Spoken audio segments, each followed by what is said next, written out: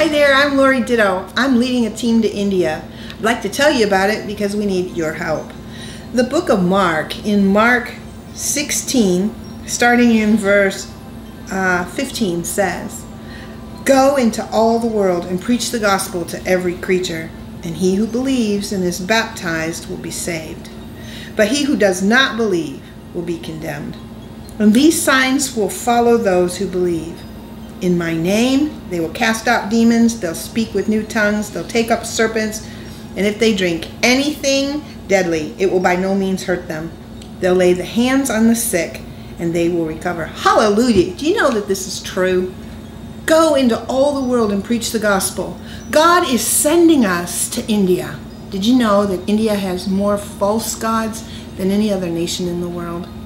Right now is the time we get to do something for Jesus.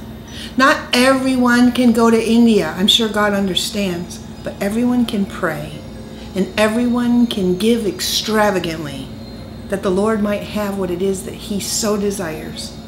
The objects of his affection, the ones that he's created, that they will know him. I promise that if you help send us, we will preach the real gospel.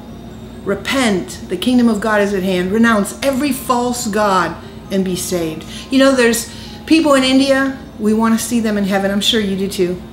Maybe you're not an evangelist. That's okay. I am. Maybe you can't go to India. That's okay. I can. Come on, get on the team and help us. God bless you.